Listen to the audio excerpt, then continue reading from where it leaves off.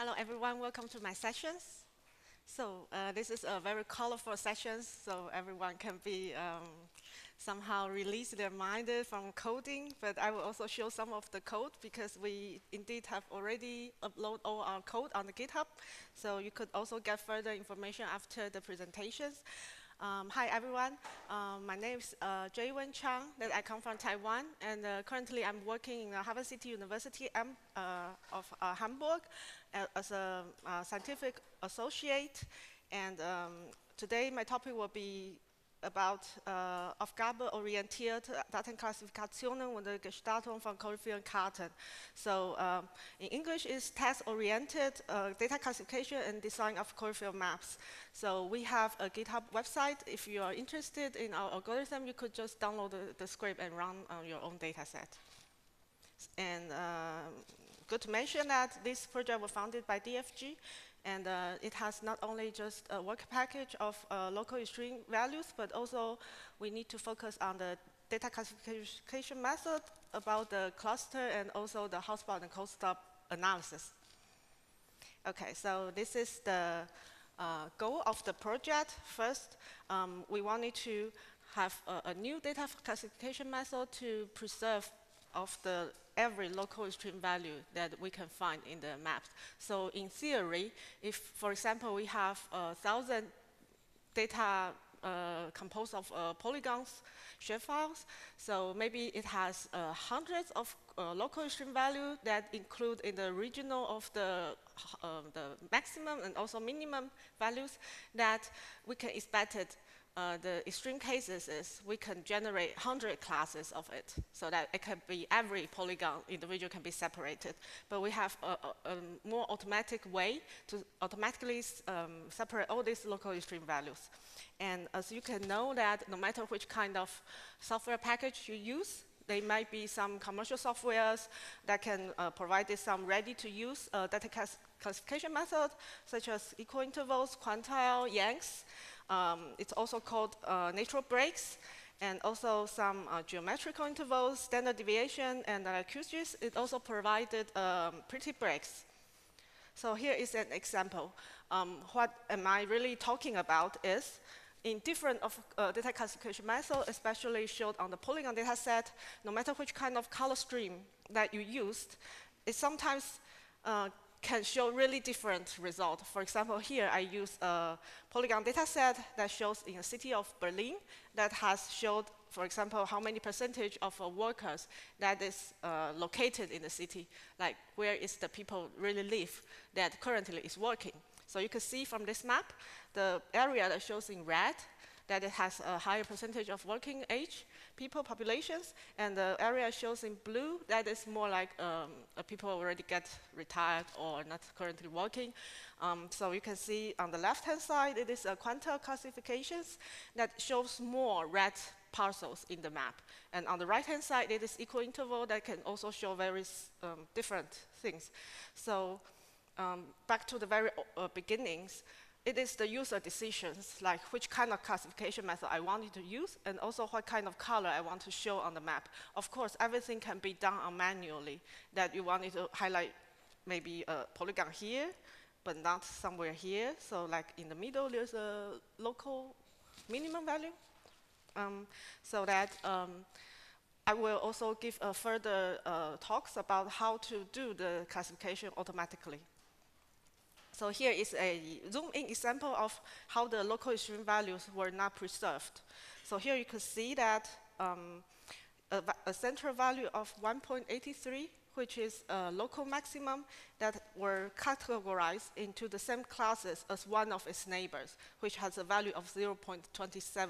Because um, you could see from the map, um, it is the class breaks, like where the class breaks were placed, then the result will be shown accordingly. And here is the, uh, our methodology. The first step is we want to search where is the neighbors and where is the local extreme values. For example, I have a local extreme value here. It's called, uh, it is the local maximum uh, with a value of 17.69. And I wanted to identify all its neighbors and store it somewhere in the database. So that um, I also pay uh, especially attention to one of its closest neighbor. What do we define the closest here is it has the closest values from of its neighbors. So for example, this all the surroundings uh, value of 7.52 is the closest one. So these differences and also this data set of its origin value will be also preserved in our databases during the algorithms. And this method was implemented uh, completely in open source, so it also used Anaconda and also Fiona, Shapely R-tree, spatial index to speed up all the searching uh, steps. So um, this is the first step that I want to know where the local stream. And then I plotted each local stream, only one segment on the X and Y diagram. So here is a local stream value, which has a value of over 5,000. And it has its closest neighbor here around 4,300 and so on. So you can imagine that, for example, if there is a hundred of local extreme values in the data set, there will be 100 segments plotted in this plot. So here is oh, how it seems like. It's just a data set as an example. It can be any data. And then the second step is I will do a plane sweep algorithm from the global minimum to the global maximum. Like, of course, the user can define how was the swap intervals, like how the line segment, I'm talking about the vertical one, which shows in yellow, it will be swept from the left to the right so that it, the algorithm will also calculate it auto automatically how many intersect happens to this diagram. So in theory, the more intersect of the total counts, it should be the breaks that we wanted to place because we just place one break and it can separate all the surroundings. So after the first break were placed, we wanted to remove all those segments which has been intersected to the first break. This is just for um, not repeating um, swaps for the segment that already be separated or identified so that there are less segment left so we could perform the second swap. Then we also find the second break, which has value of 3,000. And then we will iterate the whole process until the desire of the class is to, be all uh, identified. So for this is the whole implemented diagram that uh, from the left. It's a, any polygon shape file can be used in this method. Then the algorithm will do the first part is uh, the multi-part to single-part polygons so that uh, only one pair of the relationship can be preserved. And then also the neighbor search and all location value identifications then they have uh, two individual uh, tables, which has been uh, illustrated earlier. Um, and then I will also do the table joining within the database that um, one location value only has one pair of the closest neighbors. So this is the step that I have been talked about. Then I have only one table left to do the plotting. So here is plot segments, count the intersections, and the intersection counts will also be preserved, and it will also be shown in the result. And then um, there will be two tables uh, generated. One is intersect table. Let's store which value has how many intersection counts. The second is output CSV value that has a global view of what is the value and also what is the um, intersects. Where is the intersects happened? So the whole process will be iterated. For example, if you wanted 10 classes as a result, then it will be nine breaks. Then the process will be iterated nine times. So um, here are the results. Before we go into the visualization, I would like to show you the code. So maybe they are developing here that is more interested in something that can run. Okay, now I want to show you just the prototype of the script just one plug segment part. So here is the iterate part. I wanted the data to have five output. Uh, no, sorry, five classes as an output. So now it's performing the swap. And now I have a diagram plot that shows, okay, here is the uh, city of Hamburg, that how many uh, districts are need to be monitored the most because we have a map that shows the deprived index. I will show you later, but this is the algorithm that shows in here. So you can see that, for example, here is 150 polygons that is local maximum and minimum so that I have uh, every of the relationship plotted here. So um, the diagram in the slide, it was 90 degrees um, flipped so that the, the horizontal swap will from the minimum to the maximum or the other way around. It's also okay. Okay, so I close the plot. It will also iterate the second, but I will just let it stop. So here is the result. Um, as I mentioned, the city of Hamburg, it has open data that shows um, where is the area that need to be monitored the most, that which uh, is released every year, and this shows the map of uh, from average DPRI index of year 2012 to 2015. So for example, uh, the red area, that is uh, the value has relatively higher that needs to be monitored. Maybe there are more people who is not working and also apply for the Hartz IV, uh, or they have more children which has single parents, or the children that they are needed to be taken care of by the social workers. They have this kind of data set so that this is data that can be very suitable for us that because we want every polygon that to be preserved. And you can see that from here, the result shows quite um, significantly the Aqua method, this map in the middle, that shows uh, the highest of preserved rate among all the data classification methods. So um, like equal interval on the very right uh, part, it has the poorest um, classification result. Um, you can see the data diagram that plotted the whole um, histogram of the original data that uh, where the breaks of Aqua were generated. So you could, of course, also compare this result to the others. Um, here on the map, I also uh, overlaid uh, where the local extreme value is. Uh, with the red one is the maximum and the blue one is the minimum. But it is somehow quite difficult to evaluate how the impact of, of our new method and the traditional one. So we go another way that I will talk about it later that we could calculate uh, how the evaluation to be done. Here is a zoom-in example. Uh, the Aqua method, it has uh, preserved the local maximum and also local minimum, both of them, perfectly preserved. The equal interval is not preserved very well of the local maximum. Uh, natural breaks, it preserves the local maximum, but not the local minimum. And quantile also not preserves both of them. So um, it depends on the, your data set, basically. Here is the uh, preserve rate um, of this data set that how many of the classes, for example, from the only one classes, then how many of the local extreme were preserved. So like we could draw a line segment like um, with the increasing number of the uh, total classes, like how the preserve rate changes. So you can see from here, the, the orange one is our Aqua method. No matter relatively slower amount of the classes or bigger amount of classes, it all has the best preserve rate. Okay, so this is another data set that shows how is the SPD vote percentage in the city of Hamburg that um, from the last year election result.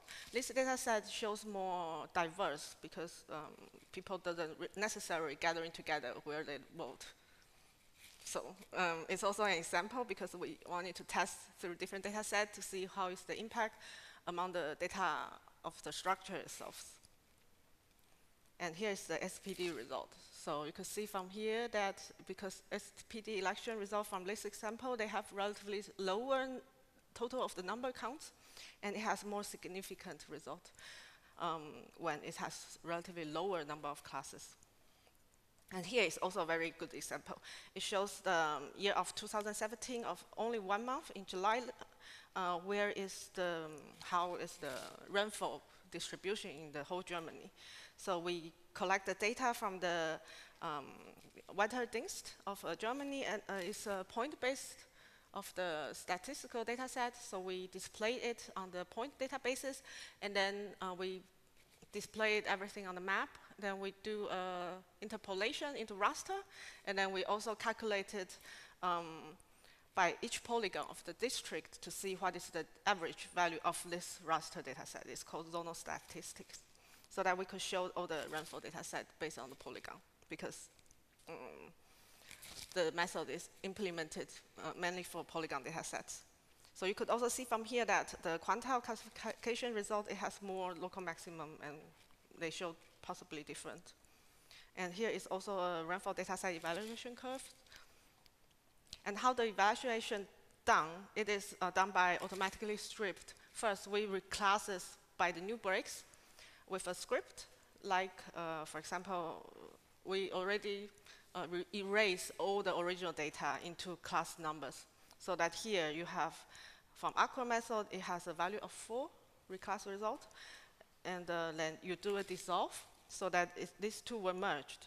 So when you select by the location with the completely identicals, then you can see that uh, this aqua method will preserve and this is, will not be selected. So the whole process can be done automatically. Okay, back to the data itself. Um, we have tested through five data sets. The more are coming, and um, it is, is a statistics of uh, attribute of the data. Um, here you just need to pay attention of the standard deviation, for example, because standard deviation is a very dangerous statistical index.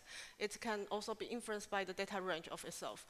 Um, so we have to compare it with um, how is the um, data distributed that um, see how the aqua method can be uh, influenced on different of the statistic data set and here is the number of classes where the all data of all the uh, local extreme be preserved. So you can see that with a class number of 37 of the first map, that all the 271 of the local extreme can be preserved. And this is the percentage of um, how many of the classes can be preserved among all the data set. So um, this project is uh, finishing the first work packages so that um, more are coming. First, we wanted to see how the um, use, user looking on different maps and where is the appropriate will be uh, concentrate or pay, paying attention to, and how their eyeball will be moved. So this is the, we will also make an evaluation of this with eye tracking devices and then the further implementation that, uh, of course, we already have a plugin uh, created on GitHub. And um, also, I will also in include this method into a QGIS plugin, of course, so that everyone can easily to use with a GUI and so on. Um, so here are the references. Um, and yeah, I guess um, this is my presentation today. Uh, if you have any question, you could always email me or report uh, any issues on the GitHub will be welcome. Thank you.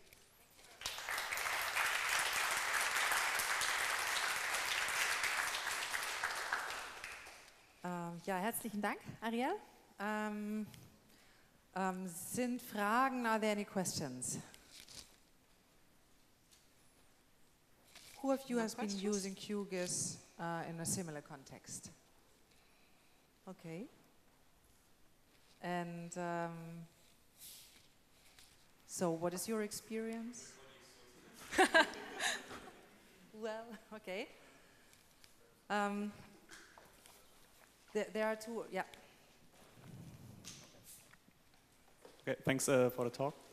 It's, um, I think it's important to, um, especially with choropleth maps, because they are so suggestive and it all depends on the kind of method you use, and this was really clear by the visualizations.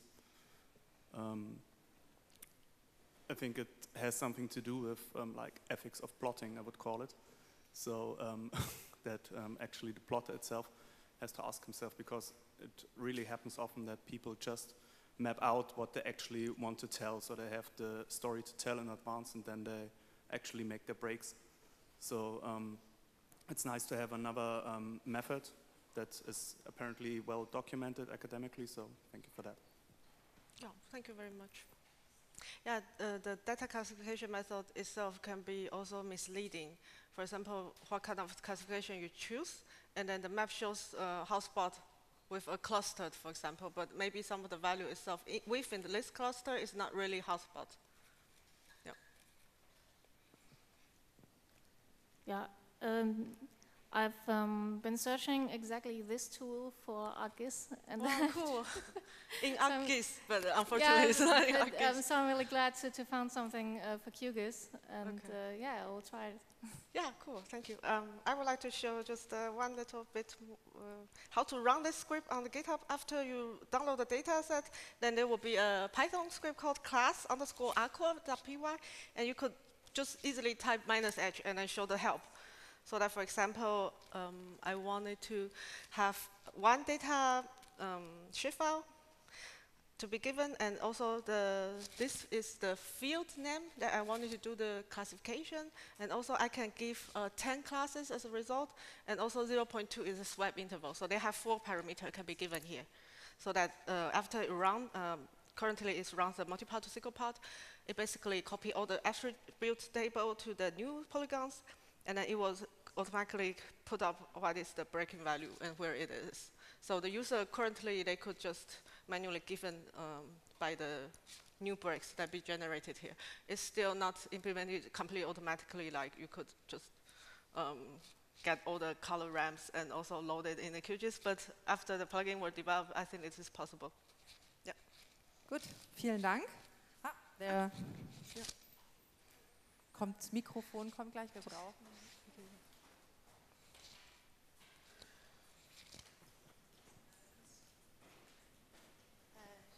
Just quick, what was the uh, 0.2 parameter?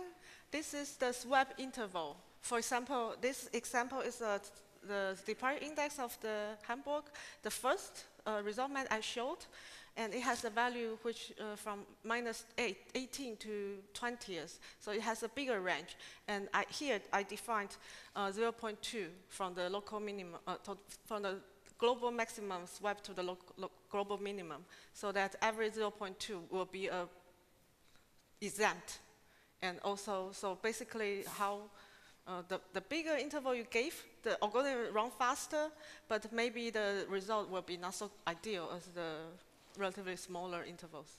Yeah. But you could try it out. I think it's fine.